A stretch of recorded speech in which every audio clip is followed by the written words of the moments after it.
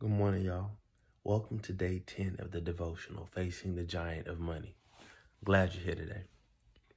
Sowing and reaping.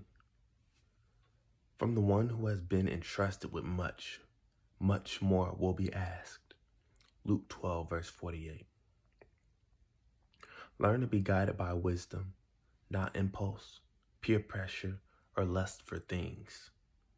Spending less than you earn is the key to financial security.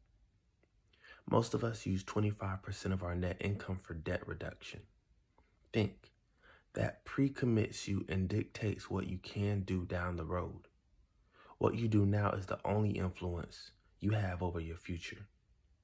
What if God calls you to go, but debt forces you to stay?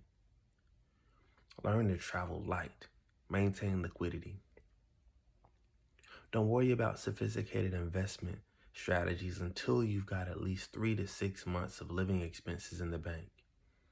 That way, you're prepared for emergencies that could derail you. Solomon writes The wise man saves for the future, but the foolish man spends whatever he gets. Proverbs 21 20. Have a long term goal. The reason that lion tamers use a stool for control is because the lion will try to focus on all four legs and end up fragmented and disabled. Keep in view only what's important. Don't just save, sow. Listen. Whoever sows generously will also reap generously. 2 Corinthians 9, verse 6. True financial freedom comes when giving no longer threatens your sense of security because you've learned that consecutive sowing generates consecutive reaping. What a way to live. Prayer point Lord, help me not to live life on credit. Help me not to make rash decisions that cost me years to pay off.